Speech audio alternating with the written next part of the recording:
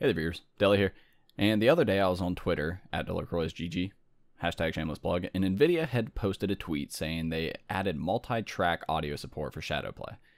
You can see their little article here, and it means a lot for content creators. And we're going to talk a little bit about why and how you can enable it for yourself. So if you just come down here and open up GeForce Experience, you'll initially notice that there are no options for these audio tracks that they spoke of, but if you come over here to the little gear icon, check the experimental features option, it'll start downloading immediately the new beta. Further down the line, this will obviously be fully implemented, so you won't actually have to enable experimental features. Regardless, go ahead and click the share button, and then you can actually access your audio settings by clicking on the microphone and going down to settings.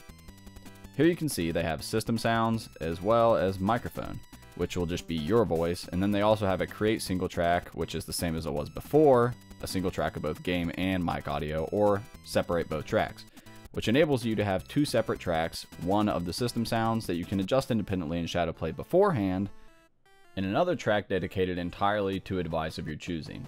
I have my condenser mic selected, however you notice I have virtual audio cables as well. And this is sort of where this system lets me down. We'll talk a little bit more about that at the end though. You can still adjust your volume independently in Shadowplay, but it's not as important because, yet again, you have complete control over the audio levels in the editing process.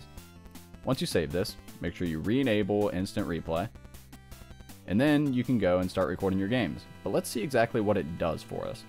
If we open up one of our gameplay files that are recorded with these options, VLC has an audio track option where you can see now we have two separate tracks, one for system sounds and one for microphone. If I selected microphone, you want to be able to hear the game at all. But instead of doing that, let's just jump straight into Sony Vegas and see the benefits when we're editing. Here I'm adding the track and you can immediately see there are two separate audio tracks with their own individual waveforms. This way, you can look straight to where I'm talking, click there, and hit play. I didn't even know what was going on. He just said kick me, so I was like, alright. No, you notice I pulled my volume down, no. and you wouldn't be able to hear me as much. No, we're trying to get rid of everyone who says Now I'm going to bring my volume back up, and we're going to do the same, but with the game volume and the voice chat volume. I didn't even know what was going on. He just said kick me, so I was like, alright. And there you can see the game volume can be completely removed as well to make yourself more audible. I've been waiting for NVIDIA to implement this for a very, very long time. So I'm very excited. Don't get me wrong.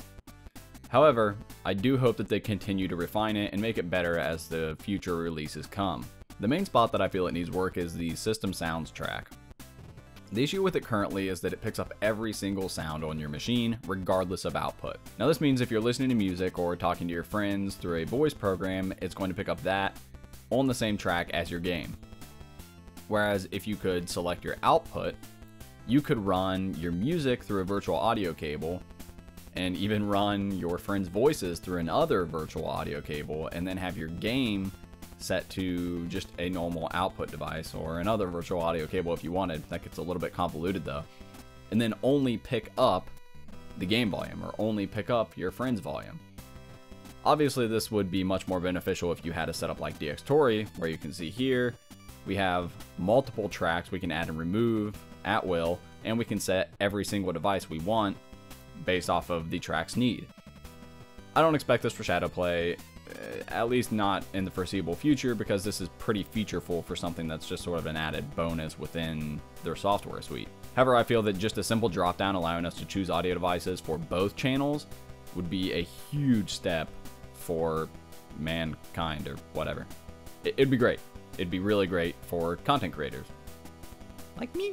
This wasn't really much of a tutorial, but more just me being hyped about this new feature and wanting to show it off a little bit. If for some reason you were using this as a tutorial and have any questions or need any help or, or maybe having some questions about virtual audio cable, then let me know and I'll try to help you out, man. I guess that's the least I can do for making a really pointless video. Thanks for watching. See you next time.